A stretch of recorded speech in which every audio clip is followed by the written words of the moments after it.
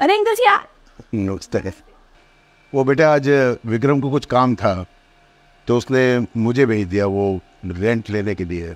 अच्छा अच्छा आइए आइए अंदर आइए। थैंक यू क्या लेंगे अंकल आप चाय या कॉफ़ी? बेटा मेरे लिए तो बस वो। हेलो? हाँ कनु बेटा क्या कर रही है? करती हूँ ना बाबा आपको काम कर रही हूँ अभी मैं। अरे ऐसा क्या काम कर रही है बेटा? अरे यार रुको थोड़ी देर करती हूँ अभी। हाँ जी अंकल बताइए क्या कह रहे थे आप? बस बेटा मुझे एक गिलास पानी पिला दो। ठीक है लाती हूँ अंकल। और वो चेक भी लेकर आती हूँ रेंट का।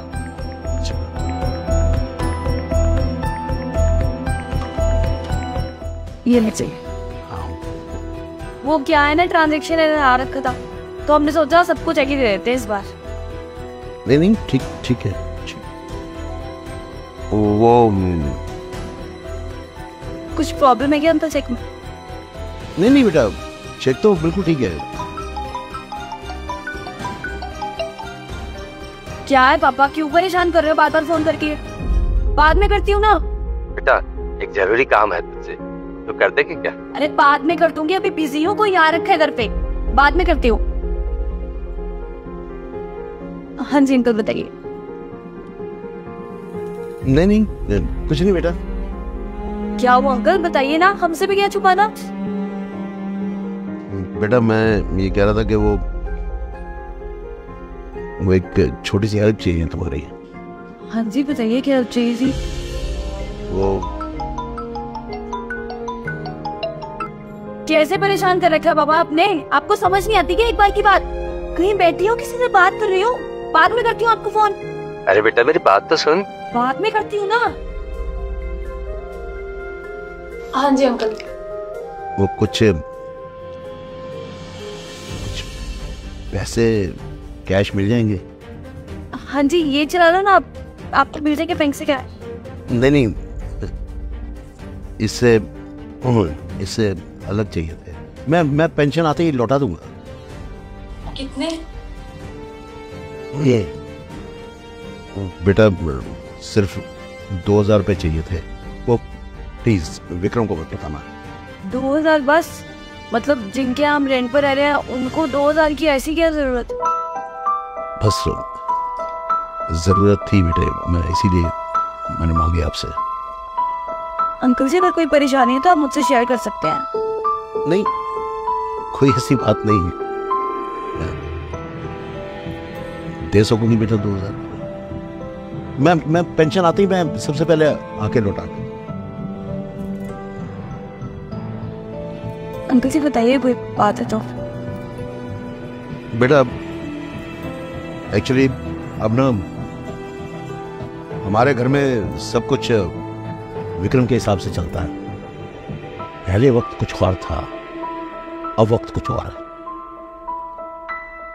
बचपन में उसके छोटे छोटे शौक भी हमारे लिए एक बहुत बड़ी ज़रूरत होती। लेकिन अब, हमारे, मेरे, तुम्हारी आंटी के छोटे छोटे शौक भी उसको फजूल खर्च लगते हैं। वक्त बदल जाता लेकिन अफसोस तब होता जब औलादें बदल जाती माँ बाप पूरी रात बच्चे के पेशाब से गीले बिस्तर पर चुपचाप पड़े रहते हैं। चू नहीं करते। और बुढ़ापे में हाथ से थोड़ा सा पानी छिड़क जाए, फर्श पर तो बवाल हो जाता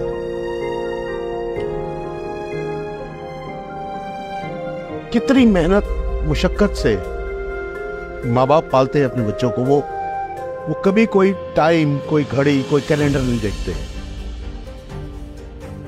लेकिन बच्चों के पास माँ बाप के बुढ़ापे में चंद मिनट नहीं होते उनसे बात। कि बात सुन ले।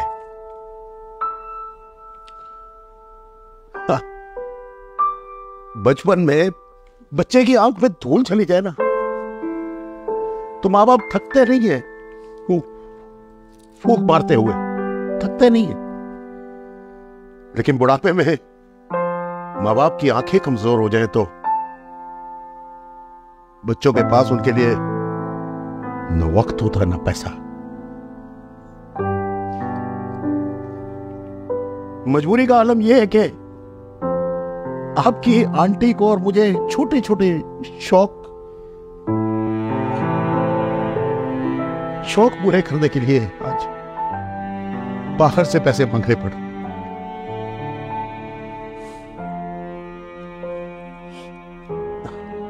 बेटा,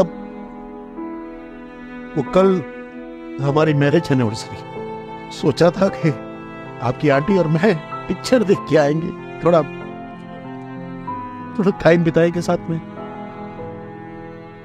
अब अगर मैं विक्रम से पैसे माँगता हूँ तो बहस हो जाती। सवाल उठने लग जाते। उम्र उम्र का हवाला दिया जाता है।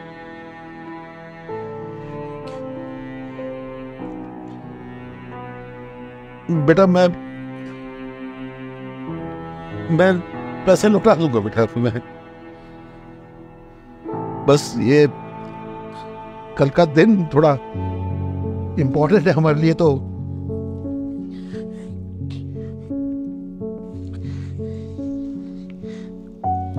हाँ जी अंकल जी मैं लाती हूँ पैसे। ये लीजिए अंकल जी। थैंक यू बेटा।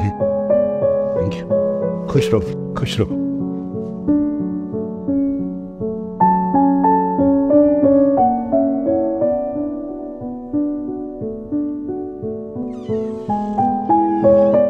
हेलो लो कन्नू बेटा।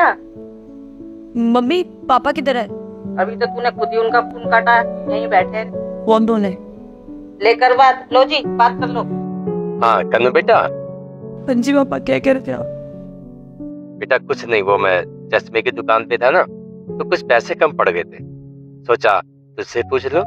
चश्मे लिए होते वो पुराने से ही काम चला दूँगा मैं।